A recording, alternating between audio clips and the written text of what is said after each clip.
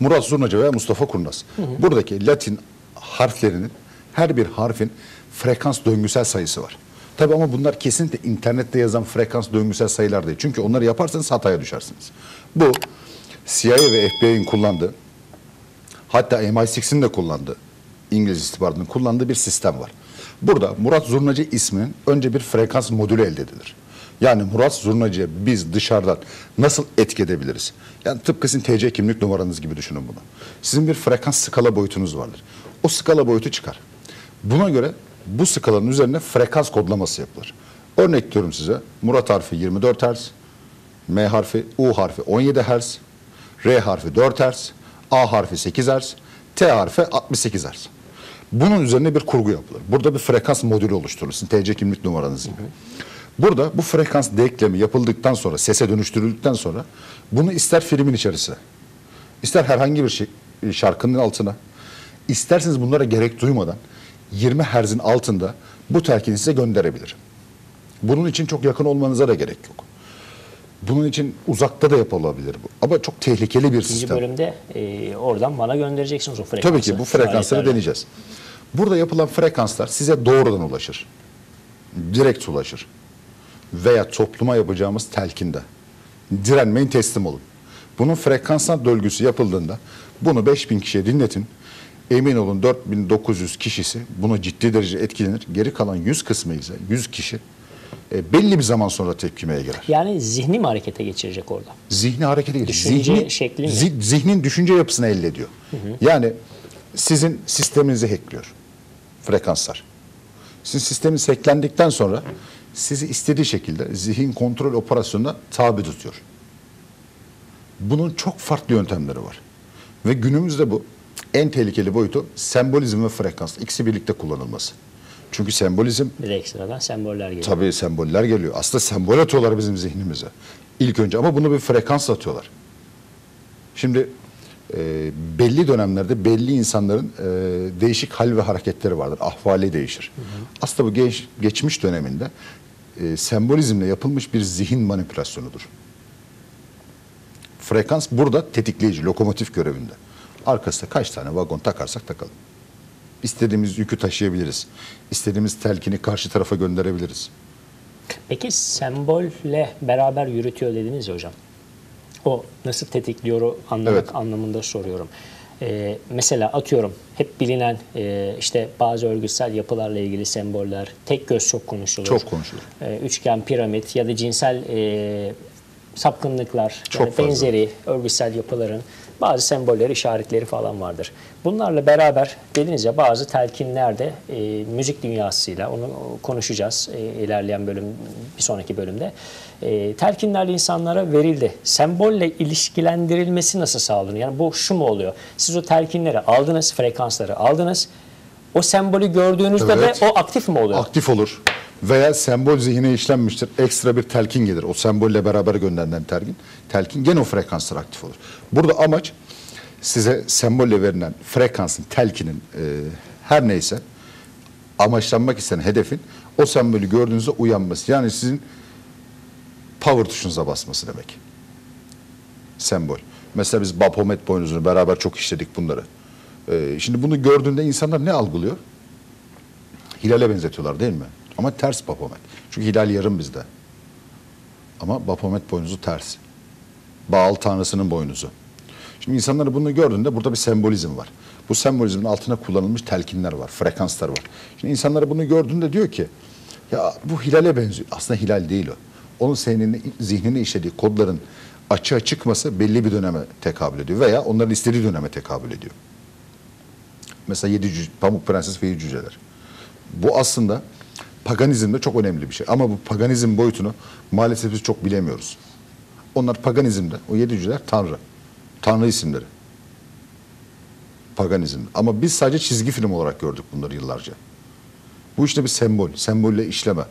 Şimdi sana birisi kalsa dese ki hocam Pamuk Prenses'le Yedi Cücelerin isimlerini saysa tanrı Şirin- olarak Şirinler.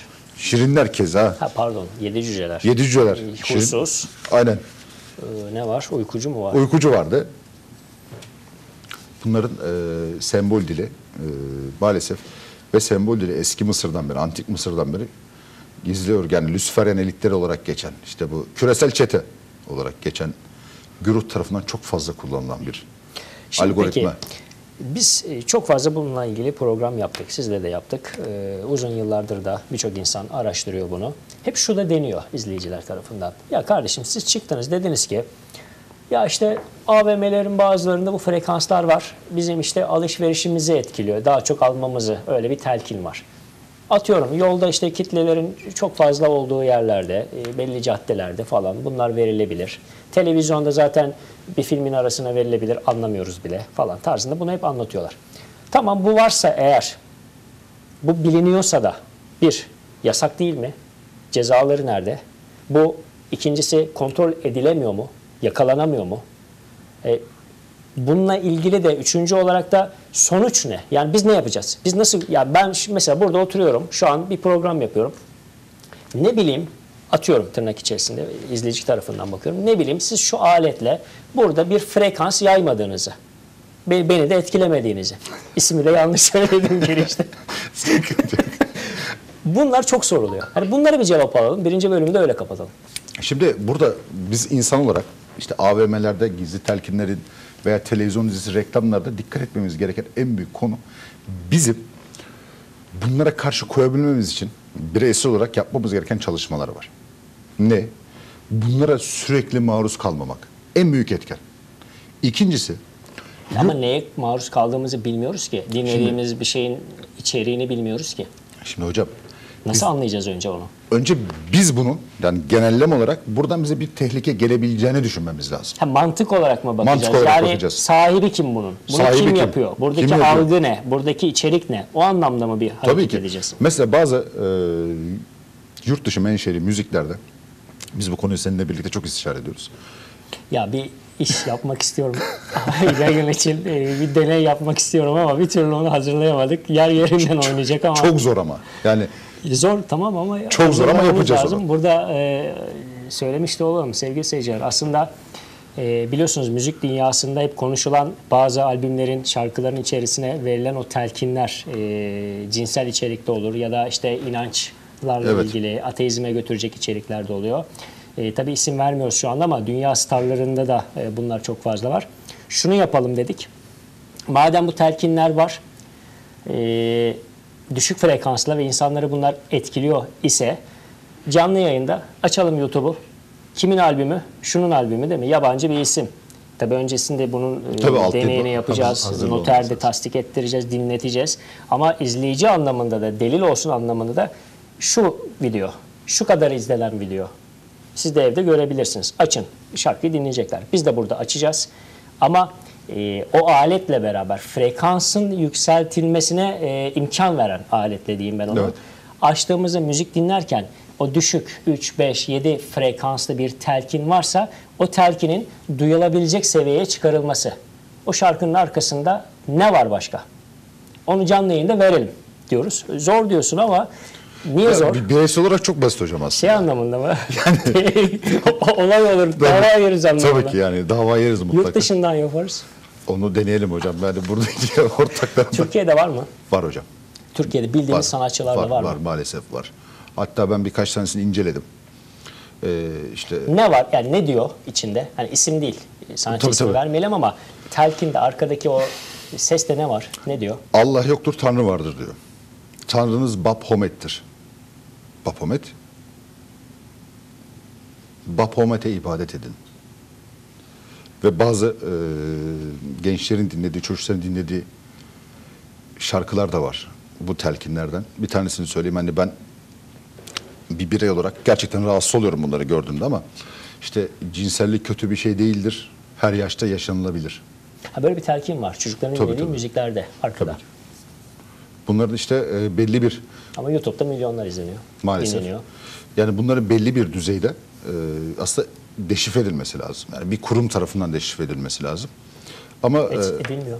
edilmiyor. Yani ben e, Neden onu da bilmiyorum. Neden edilmediğiyle. denetlenmesi lazım. Bu şu an günümüz şartlarında e, devlet eliyle yapılabilir. Bireysel çalışmada gerçekten çok sıkıntı yaşarız. Çünkü imkan ve olanaklar yetmez. E, bunları deşifre etme için çok ciddi derecede alet ve edevata ihtiyacımız var. Ki bunları yaparken de bu alet edevata gerek duyuluyor aslında. Yani bunu deşifre etmek için birkaç tane cihaz var. Yani çok uçuk rakamlar. Yani buraya koyduğumuzda E, zaten e, o cihazların alınması değil, e, milli olarak kendimizin de üretebileceği Üretmemiz lazım. e, cihazlar olması lazım. Ben hep şunu söylüyorum, e, hep milli medya, milli medya falan konuşuluyor ya. Ya milli medya o değildir ki. Yani milli medya senin siyasi görüşünü yansıtan ya da işte şunu yap ya da bunu yapma diyen e, belli şu anki işte bazı major büyük kanallar değildir ki milli medya. Milli demek sen çocuğunu koruyacaksın, bebeği koruyacaksın, gençleri koruyacaksın. Orada verdiğin e, filmlerle işte çizgi filminden sinema filmine kadar içeriğini bileceksin. Wonder Woman diye bir film oynadı burada sinema salonları. Ben seminerlerde gösteriyorum. Türk bayrakları sallanıyor orada. Almanların emriyle zehirleri Türkler yaptı diyor. Bu Türkiye'de oynamış bir sinema filmi. evet. Kim denetledi bunu? Kim kontrol etti? Vizyona nasıl çıktı? Hani bizi de geçtim. Dünya izledi. Biz bu muyuz? Türkleri böyle gördüler. Türk bayrakları sallanıyor. Açın e, Wonder Woman Türk sahnesi diye yazın Google'da göreceksiniz. YouTube'da göreceksiniz. Demek istedim. Şöyle bir oluşum lazım. Dediniz ya devlet eliyle olması lazım. Rütük üstü. Yani bir Tabii, kurum. tabii, bağımsız. Buna e, devlet desteği lazım. Bir istihbarat desteği de lazım. Ne olacak? Yeni bir albüm mü çıktı? Atıyorum X bir şarkıcı. Getir önce biz bir bunu dinleyeceğiz. İşte bu frekanslarla arkada bir telkin var mı? Bu çocuklara bir şey veriyor musun? Dinleyecekler. Sıkıntılıysa yayınlatmayacaklar. Ya da sinema filmi geldi. Getir biz bunu bir izleyelim. Klip mi? Reklam mı? Bir izleyelim. Yani sıkıntılı çocukların göreceği orada cinsel objelerin olduğu reklamlar var şu anda. Çok fazla Çocuk var. ürünleri adı altında satılan fazla var. e, o reklamların oynayan tabii işte şu an fenomen olmuş isimlerin ya söyleyemiyorum bile şu an canlı yayında. Öyle sahneler var ki şu anda. E, kim kontrol ediyor bunu? Maalesef. Ve Müslüman bir ülkeyiz. Maalesef. Rahmetli Barış Manço'nun bir röportajı vardı ee, Murat Hocam. Dedi ki her darbe döneminden sonra bir müzik kültürü bu ülkede ön plana çıktı. Şimdi rap mi ortaya çıktı? Biraz rap, Rap var. küfür etmek, asilik Asilik. falan. Dedi Şimdi ki rapçilerden de rahmetli. Barış Manço bu röportajdan iki ay sonra rahmetli oldu. Bunu araştırabilirler. Rahmetli Barış Manço'nun müzik üzerine röportajı diye. YouTube'da bunun videosu var. Rahmetli Barış Manço diyor ki 80 darbesinden sonra diyor bu ülkede diyor pop kültürü gelişti diyor. Neden gelişti diyor. Niçin gelişti diyor. Çok uzun bir video bu. Ve diyor ki ben bunu başka bir programda anlatacağım size diyor. Ve ömür yetmedi. Ha, bir algı vardı, verildi. Bir algı vardı, verildi, Ve edildi. normalleşti o. Sevildi, sevdirildi, normalleşti. Şimdi hocam bazı olaylar kanıksanıyor. Yani kanıksanma dediğimiz. Mesela biz bundan 20 yıl önce şu an e, normal baktığımız şeylere çok sert tepkiler verebiliyorduk. Bundan 20 yıl önce en basitini söyleyeyim. Biz şehit cenazesinde ülke olarak tepki veriyorduk. Bayrağımızı asıyorduk. Konvoy yapıyorduk. Buna bir tepki veriyorduk. Ama şu an için bu tepkiler normale indi. Normalleşti. Yani LGBT yürüyüş yapıyorlar bu ülkede.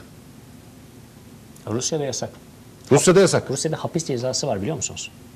Kesin- Hapis cezası Ya. var. LGBT propagandası.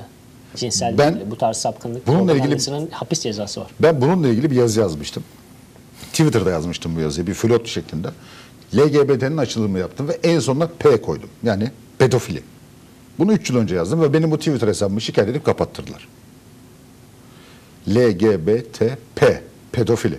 Şimdi adamlar öyle bir sistemle çalışıyorlar ki Mark Nickenberg diye bir adam var pedofili.